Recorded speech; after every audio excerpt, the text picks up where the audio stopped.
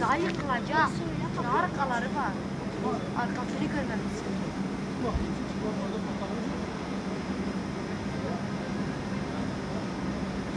Hayvan nasıl dayanacak? Oradan girer etsin ya.